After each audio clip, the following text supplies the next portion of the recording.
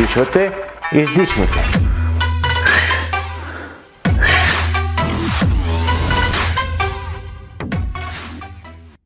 Здравейте, уважаеми зрители! Аз съм Мартин Гергов и в днешното ми видео ще ви запозная с една поредица от три супер лесни тренировки за натоварване на коремните мускули в домашни условия.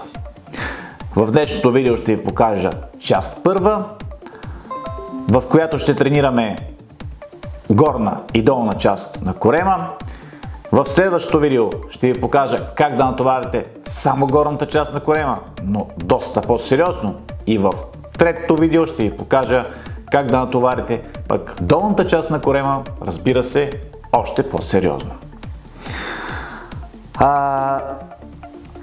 Преди да пристъпя обаче към първото видео, в което ще ви запозная с правилното изпълнение на упражнението комбинирани коремни преси в домашни условия, което е изключително подходящо за хора, които никога до сега не са правили коремни преси, не са натоварвали коремните си мускули, а, коремните, а здравите коремни мускули са изключително важни за нашето здраве, поради факта, че ни предпазват от редица евентуални травми, които може да се получат, например при падане, или при, пък при рязко ставане от леглото, или пък при вдигане на тежки предмети. Така че здравата коремна мускулатура, бъдете сигурни, че ще, че ще съдейства за предпазването ви или по-скоро за намаляне на риска от травми в кръстната област. Преди да пристъпя към своята тренировка, обаче, какво правя?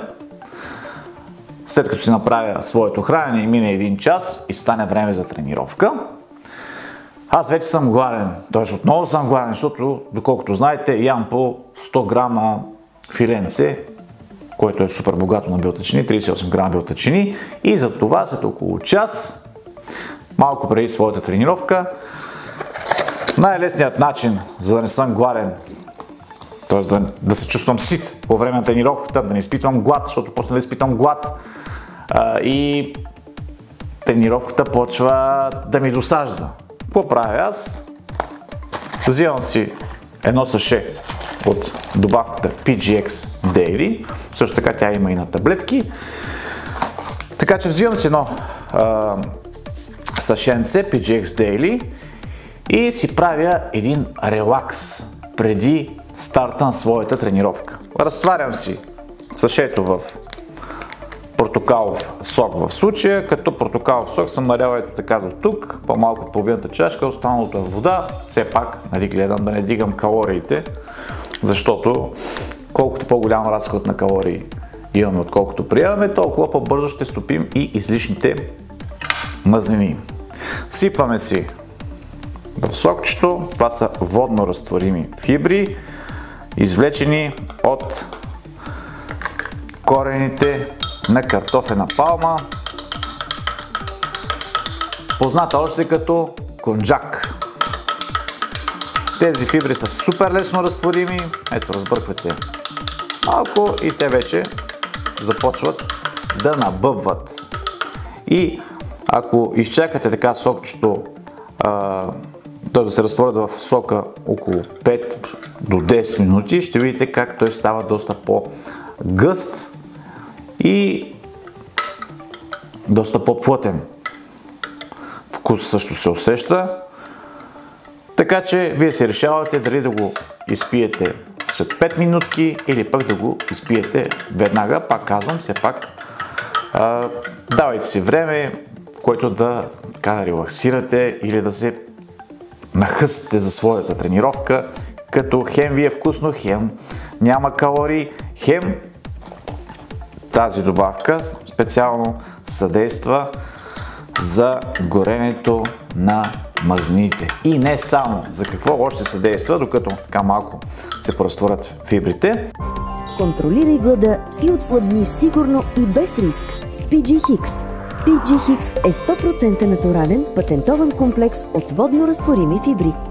Намалява апетита, като създава усещане за ситост и поддържа нормални нива на кръвната захар и холестерола – Ефектът му е доказан с 15 клинични проучвания в САЩ, Канада, Франция и Германия. Влез в супер форма с PG Hicks на Natural Factors. Търсете в аптеките и онлайн на revita.bg. Наистина, това е доста силна, много силна добавка, дори бих казал, а, която ме очудва с а, още първите резултати, след първия прием, нали, ще усетите как ви се а, ходи по-често по голяма нужда а, и това ви изчиства от а, токсините. Ето, както е описано в нея, тя възпрепятства и а,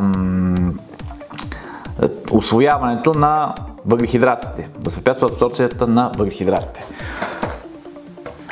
Времето за изпиване на моето сокче настъпи, ето вече е станало гъстичко. Пия го и пристъпвам към първата ни тренировка за коремните мускули. Комбинирани коремни преси. На здраве! И пристъпваме към изпълнението на първата тренировка за коремните мускули. Както споделих, значи, правиме един ден комбинирани коремни преси, почиваме един ден, след това правиме коремни преси за горна част на корема и след това правим коремни преси след още един ден почивка за долна част на корема.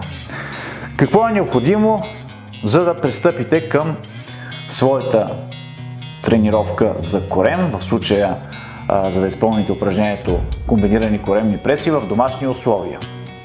Кратко, ясно и точно, нали, в случая виждате, аз съм взел два стола и съм ги опрял един до друг, лице в лице.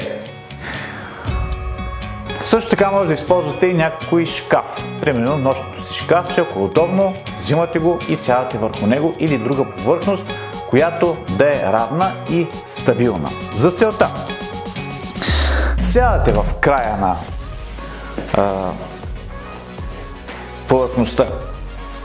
Дали ще бъде тя от на нощното ви шкафче или тези два стола, вие си решавате какво да използвате. По-лесният вариант на изпълнение на упражнението е когато ръцете са отзад. Хващате се отзад. И движението изпълнява, представлява това. Събирате максимално коленете към гърдите. И спускате тялото леко назад. Вдишвате издишвате.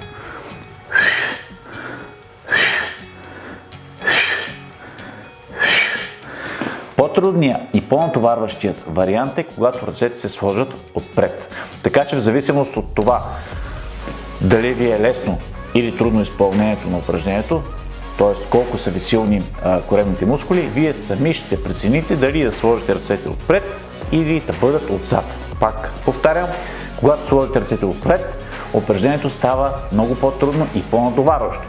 Когато ги сложите отзад, то става по-лесно и е най-подходящо за абсолютно начинаещи потребители. Ако сте напълно начинаещ, стартирайте с 5 работни серии. Ако имате все пак някакъв опит и това упражнение ви е наистина лесно, направете си 10 серии, даже може да направите и 15 серии. Като повторенията са до пълен отказ. И ето какво представлява една серия от комбинираните коремни преси, натоварващи горната и долната част на корема. Започваме. Да, още нещо много важно. В най-лесната част на движението вдишвате, в най-трудната издишвате. И. Едно, две,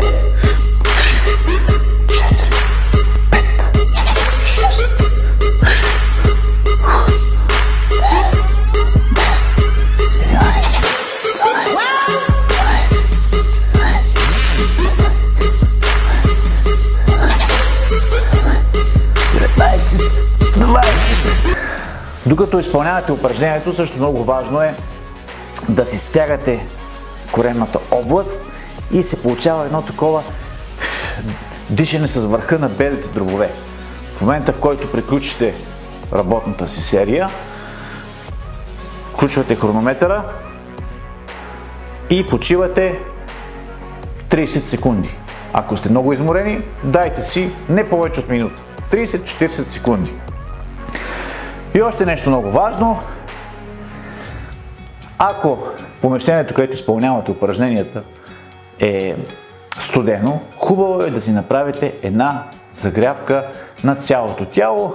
Това е една такава загрявка, в която раздвижвате врата, раздвижвате раменете, лакти, китки, кръста и коленете и глезените. И това е, уважаеми зрители. Ако имате някакви въпроси, може да ги споделите в коментар и аз ще ви отговоря. Mr. 3 Hours Fitness Diets Emotions and Love